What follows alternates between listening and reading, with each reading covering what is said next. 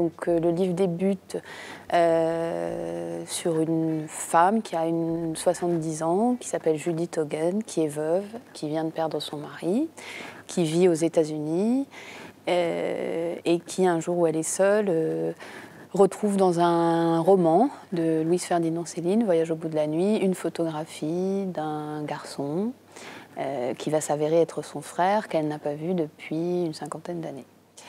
Euh, et en retrouvant cette, photo, elle va commencer à s'interroger sur le pourquoi de cette rupture qu'elle a eue avec ce frère des années auparavant, euh, ce qui va l'amener à souhaiter progressivement le retrouver et savoir ce qu'il est devenu. Donc ce livre, ce roman, c'est l'histoire de sa recherche, de ce frère euh, perdu en quelque sorte, qui va se doubler d'un retour euh, vers son enfance qui s'est déroulé en France, dans une petite ville de province dans laquelle elle a grandi avec son frère et sa mère dans une famille relativement modeste. Ça, c'est le propos de départ.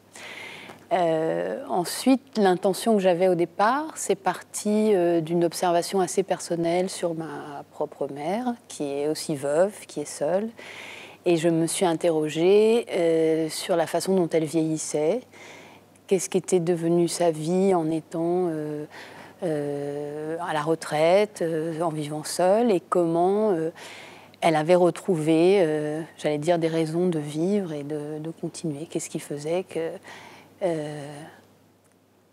euh, comment elle arrivait à vieillir? Et qu'est-ce qu'impliquait le fait de vieillir euh, comme, euh, comme concession, comme acceptation?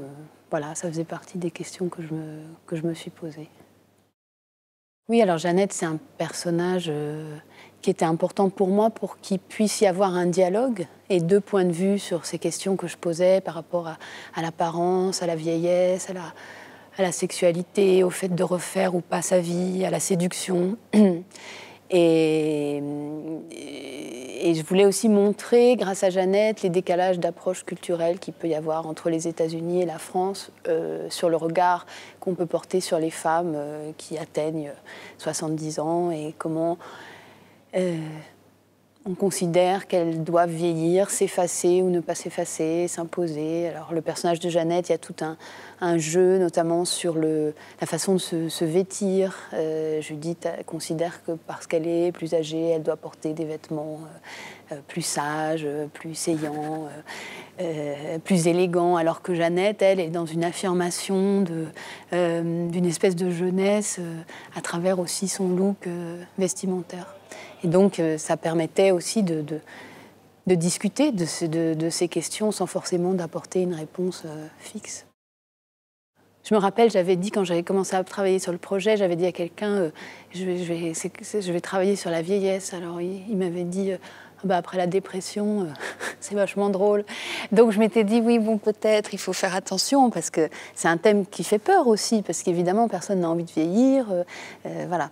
Donc j'ai essayer, et je trouve c'est très difficile en littérature, euh, d'avoir toute la première partie du livre où Jeannette et Judith vont partir dans une espèce de euh, voyage euh, organisé, un peu burlesque. J'ai essayé d'avoir justement une forme de légèreté et de montrer aussi que euh, moi, je suis très touchée par les gens qui vieillissent. Je trouve qu'il y, a une, y a une noblesse, il y a une force face à une société qui, nous, qui renvoie quand même la jeunesse à plein pot. Les images, la publicité, il faut être...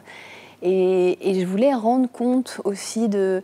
Euh, oui, de cette admiration que j'avais pour ce, ce c'est pas, je veux dire un combat, c'est pas forcément un combat, mais la force qu'il faut pour euh, continuer à, vivre et et à être dans la vie en fait.